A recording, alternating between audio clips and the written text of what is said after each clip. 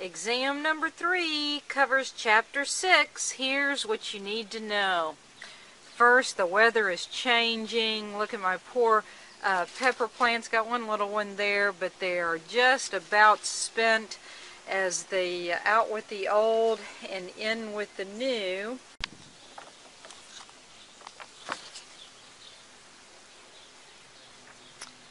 And so, this is what I want to tell you.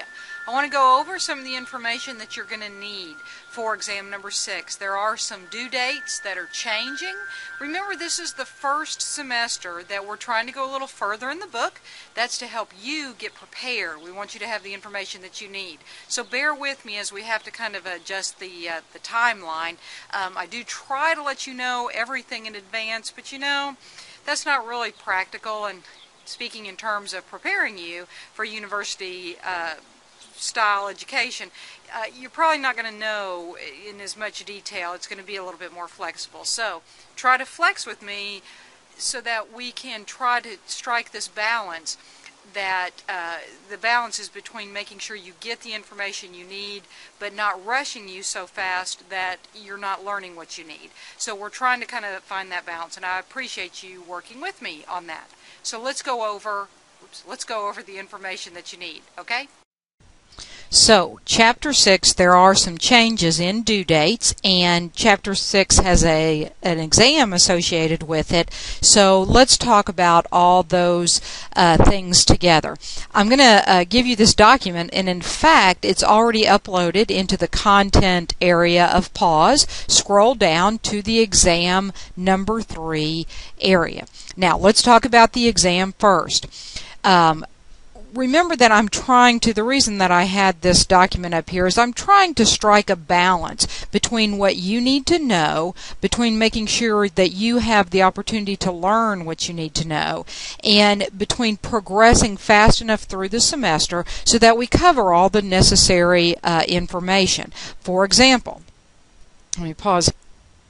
Okay. For example, uh, today is October the 3rd, and we are so we are entering week number six of the semester. Regardless of which class section you're in, we are entering week six of the semester. Now, if you think about it, we you know to cover one chapter a week is actually a very reasonable uh, pace. So we we really should be starting maybe chapter six, chapter seven. You know, think about chapter one being very much an overview or introductory chapter. Um, you know, but according to the schedule that I, I, laid out, I'd really like for us to be moving into chapter 7. But I spent a little extra time on chapter 5, started into chapter 6 a little bit. Uh, but when you're testing on chapter five, I realize you're a little distracted. So, um, as much as you don't want me covering chapter five right before your test, uh, you're also not switching gears into new content material either, if that kind of makes sense to you. So, uh, so here's what I'm saying: we're in chapter six. Let's say, or week number six. Let's say we're starting chapter six, and let's talk about the due dates that I've adjusted. Once again, this is the second adjustment in the schedule, um, so that we can achieve that necessary balance. I really try not to give you exams over holidays. However, this is your, your fall break period, okay? And, uh, you know, the alternative is that we have the test this weekend, otherwise fall terribly behind. So, what I'm asking you to do is to give me one and a half hours. This is not your entire fall break, but it is one and a half hours of your fall break, and sometime in that period to take exam number three.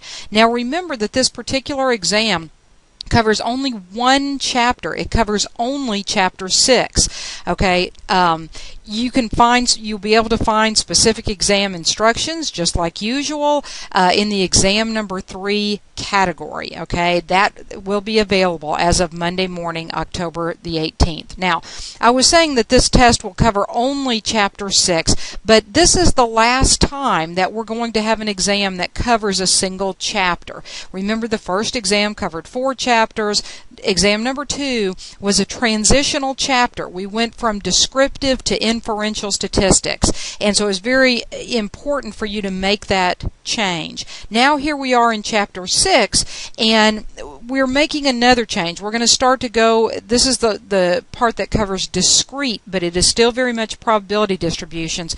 And from chapter 7 on, we're going to be looking at these continuous probabilities. So this is the last of the single chapter exams, and the purpose of doing the exams in this way was to help you make the transition that you need so that next we can focus on continuous probabilities. Okay? Now, the format of this exam is just old news to you, okay? Because part A is in PAWS, right? Is in PAWS. It is only 10 questions and they are 5 points each and it's 20 minutes, okay? So again, I think if you've been doing the homework and especially since I've extended some of the due dates, this should be plenty of time. Now, as we go into part B, uh, again, this part is in Connect and it's five questions and those are 10 points each and you will again have 60 minutes for that particular portion of the exam. Part A, you will know your score immediately after completing that portion. Part B, remember that you need to, you know, make a note in your calendar to check back 5 days later so that you can see the very detailed grading. Um, okay, I'm going to pause here uh, because my video uh, clip is about to expire, but um, next we're going to talk about due dates associated with it, with chapter 6 and exam number 3. Okay, so I've had to edit these clips together, but now we are talking about the due dates associated with exam number three, because remember your homework is always due the night before the exam. So you'll be taking your PAWS chapter six quiz, and your last opportunity to do that will be Sunday, October 17th at 11.55 p.m. Now with the Connect assignments, let's be really clear that there are multiple parts. So you need to be making sure that you finish all parts of the Connect assignment uh, by Sunday, October the 17th. Now, oh goodness, learning project. I'm going to fix this right here while you watch. Learning Project 3, remember that, oh goodness, I can't even do it. Remember that I had already extended this due date um, until the 14th of October. Well, now what you're going to see is that I'm going to go ahead and extend that even further to October the 17th, which is again the night before your exam. Make sure that you are submitting that into the Dropbox, and when you do, and you do that successfully, PAWS we'll email you a receipt. So the way that you find that receipt, go into PAWS, do not go into a class. Do not click our class link. Instead, before you go into any class, go directly to the email link and you'll see that receipt. If you didn't get a receipt, then you did not submit the work, okay? I've been impressed with the number of you that are doing the Excel extra credit assignments and I hope that you're doing that because you're finding that it really benefits you in the exam and in the test. I mean, in the exam and in the homework. So, uh, once again, you're going to have this extra credit Excel assignment. Make sure you submit that into the Dropbox, and you all are doing really good with that, okay? So, I'm going to keep this positioned on the screen. Make note of this, but you will see that in PAWS and in Connect, these due dates have already been changed to October the 17th. And once again, let me scroll up. That's because you're looking for your exam number three uh, window of availability to be this Monday and Tuesday, October the 18th and 19th. And you know, again, uh, 20 minutes for the first part, an hour for part B. So we're only talking about, you know, an hour and a half of your time here, okay? So again, and the whole point of this is so that you can focus on these couple chapters and just history tells us that you do much better when we force you to catch up, to have everything done, and to focus on these parts. And so um, I think that this is good for you and that you'll do well.